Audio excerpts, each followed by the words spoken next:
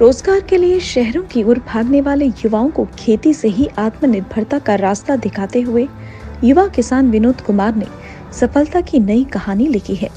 सांबा ज़िले की तहसील रामगढ़ के गाँव करलिया के युवा किसान विनोद कुमार भी पहले दूसरों की तरफ़ पारंपरिक खेती करते थे, लेकिन इसमें मुनाफा कम होने के कारण उन्होंने पारंपरिक खेती छोड़ गन्ने की खेती शुरू की।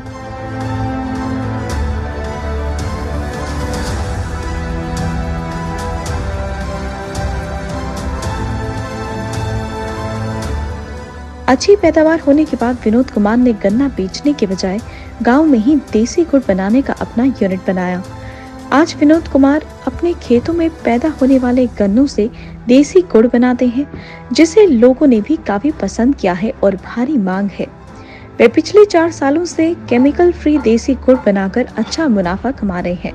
विनोद कुमार के अनुसार यूनिट लगाने में सरकार ने भी उनकी मदद की और आज वे खुद आत्मनिर्भर बनने के साथ दूसरों को भी रोज़गार दे रहे हैं।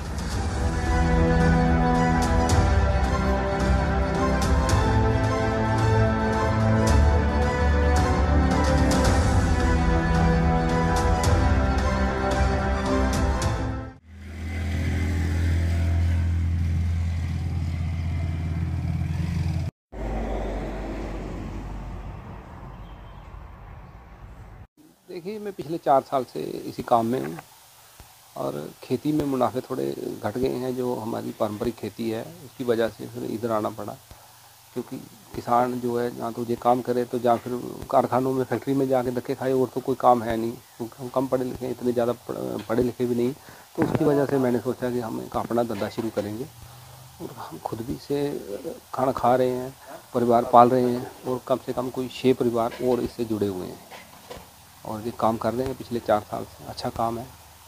क्या क्या कुछ बनाते हो इसमें गुड़ में आप? इसमें गुड़ के लड्डू हैं गुड़ की बर्फ़ी है और वही जो गुड़ होता है देसी गुड़ जिसको बोलते हैं वही हमारा बिकता है। सीजनल है? सीजनली काम होता है जी। ये नवंबर दिसंबर से शुरू हो जाएगा फिर अप्रैल के पहले हफ़्ते तक जाके जैसे जैसे गर्मी बढ़ेगी फिर इसकी डिमांड कम हो जाती है। तो ये चीज़ें ख़त्म हो चुकी थी, कितना पसंद कर रहे हैं लोग इस चीज़ को देखिए, लोग इतना पसंद कर रहे हैं कि हम उनकी डिमांड पूरी नहीं कर पा रहे हैं। आज की डेट में सौ ग्राहक अगर हमारे पास आता है तो बीस तीस ग्राहक ही गुड़ मिल पाता है बाकी खाली जाते हैं तकरीबन। डिमांड की कोई कमी नहीं। है लेकिन अभी छोटा हमारा ये कारखाना छोटा है, उसको बड़ा करने की सोच रहे हैं आस्ता आस्ता बड़ा करते हैं। कि डिमांड पूरी नहीं हो रही। मदद कर रही है इसमें? जी जी ली नहीं है मैंने सरकार मदद लेकिन सरकार काफ़ी मदद कर रही है। अगर आज किसी ने काम शुरू करना है वो समझता है वो आर्थिक रूप से अगर पिछड़ा है तो दिक्कत नहीं है। सरकार उसकी पूरी मदद करती है सब्सिडी मिल रही है और काफ़ी प्रोसेस भी सस्ता किया है गवर्नमेंट ने आसान प्रोसेस कर दिया है कि जो भी है ऋण प्राप्त कर सके आसानी से।